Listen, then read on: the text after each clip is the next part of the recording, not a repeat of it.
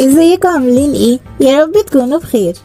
نبدأ الفيديو؟ تنسوش like واشتراك بالقناة. وتفعلوا زر الجرس عشان يوصل لكم كل جديد. إيه ازيكم يا أجمل fans وحشتوني جدا. فيديو اليوم معانا معلومات وحقائق جديدة عن عيلة الجمل. هنعرف فيه إزاي برنس مصر أكل لحم خنزير في تركيا وليه بيقول طعمه حلو. وهجوم شرس جدا من المتابعين حرام عليك وربنا يسامحك. يا ترى إيه الحكاية؟ كمان هنرد على سؤال حصري لكل ال fans عن حمدي ووفاء وإزاي هما في الإمارات مش في تركيا. كمان معانا مفاجأة لكل ال fans وكليب جديد مش هتصدقوا بصوت مين أنتوا اللي هتعرفوه بنفسكم وغيرة قوية جدا ما بين baby مكة وكمان حياة. هتضحكوا قوي. وأخيرا سبب عصبية الأميرة فيروز في تركيا وليه كانت زعلانة. وقبل ما نروح على الفيديو ما تنسوش تثبتوا وجودكم وتعملوا like كتير على الفيديو. يلا بينا نبدأ. وهنبدأ ببرنس مصر. وإزاي أكل لحم خنزير في سفرية تركيا؟ في البداية نحب نبارك لبرنس مصر على وصوله لخمسة مليون مشترك على اليوتيوب. مبروك يا برنس الكون وعقبال العشرة مليون. طبعا يا جماعة إحنا بنعرض لكم أهم الأحداث اللي حصلت في تاني يوم من سفرة تركيا لعيلة الجمل. بس في البداية هنقول لكم ليه مستر أحمد كان بيفطر لوحده مع برنس مصر وعيلته. دل على السلامة خلي بالك انت اللي مأخرانة وبما إننا بنتكلم عن الفطار تعالوا نعرف حقيقة أكل لحم الخنزير لبرنس مصر. والحقيقة برنس مصر في الفطار أكل لانشون بلحم الخنزير وحرفيا يا جماعة أكل الطبق كله. وما خدش باله خالص وعجبه كمان جدا. المصيبة إنه كان عاوز ندى مراته كمان تاكل منه بس هي رفضت. أحمد ضحكنا قوي لما قال له أنت جاهل عشان ما شافش رسمة الخنزير جنب اللانشون. موجود لانشون خنزير؟ في الفطار. آه.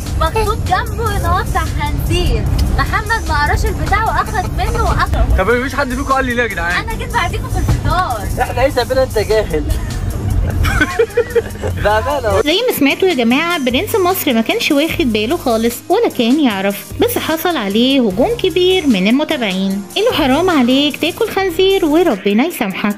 أكيد طبعا لحم الخنزير حرام على كل مسلم ومسلمة لكن يا جماعة ما كانش يعرف. أكيد لو يعرف ما كانش اكل منه فما تظلموش برنس مصر. ودلوقتي تعالوا نروح لحمدي وفاء وسؤال الفانز إزاي العيلة هتقابلهم وهم أصلا مش في تركيا؟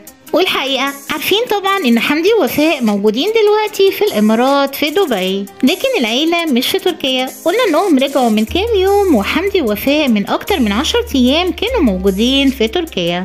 يعني في احتمال كبير يكونوا قبلهم هناك قبل ما يروحوا على الإمارات.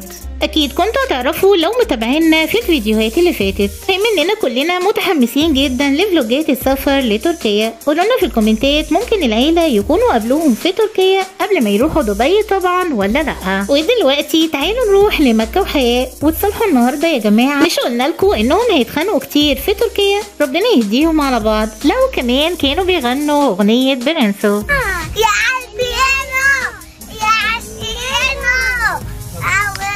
لما حبيتك قلبي اتهز من مكانه. تعالوا بقى يضحكوا على كوكي بنت برنسو. عصبت جدا على برنس مصر لما لقيته بيقول لحياة أنا بحبك. وقالت له ما تقولهاش كده. كوكي غارت يا جماعة. حياة. بحبك. وأنت بحب حياتي بحبك أنت وحياة ما أنتوا الاتنين بناتي حياتي أنا واحد. مين ضحك على رد فعل كوكي يقول لنا في الكومنتات. ودلوقتي تعالوا نروح للأميرة فيروز وليه كانت متعصبة جدا وزعلانة. والسبب يا جماعة إنها كانت عاوزة تشتري كاميرا من المحل قبل ما يقفل بنص ساعة وخايفة جدا ما تلحقش. السبب هي جلجل لأنها اتأخرت في الحاجات اللي بتشتريها من المحل. عشان كده عصبت جدا على برنس. قالت له اسكت دلوقتي عشان أنا متضايقة. مين اللي هيجيب كاميرا دلوقتي؟ أنا. بص ممكن أجيب لي مكة واحدة؟ واسكت ده عشان متضايق. متضايقة ليه؟ كده. مين اللي مزعلك؟ عشان أنا اشتريت حاجات وهي كانت عايزة تجيبي الكاميرا الأول. ده اللي انت اتأخري. انت اللي أخرتيها فعلا. وعشان بنتكلم عن فيروز تعالوا اللقطة مضحكة جدا لروزا. كانت بتاكل كرواسون بالشوكليت وكانت لخبطة وشها خالص. أحلى فيروز في الدنيا والله. ودلوقتي وأخيرا تعالوا للمفاجأة الأخيرة معانا. وهو كليب جديد بس هتعرفوا مين هو اللي بيغني. وبس كده وصلنا لآخر الفيديو. بس ما انتهاش سؤال ال fans الفيديو اليوم هو. قولوا لنا الأغنية الجديدة بصوت مين من العيلة. جلجل ولا ندى حمو ولا آية أحلى. شوفوا لي الآخر وحلوا كمان السؤال وكملوا عشان أسامي ال fans اللي فازوا في المسابقة. هنا وصلنا للنهاية. ما تنسوناش في ال like والاشتراك وتفعيل زر الجرس عشان يوصل لكم كل جديد. أشوفكم الفيديو الجاي. بحبكم جدا. مع السلامة.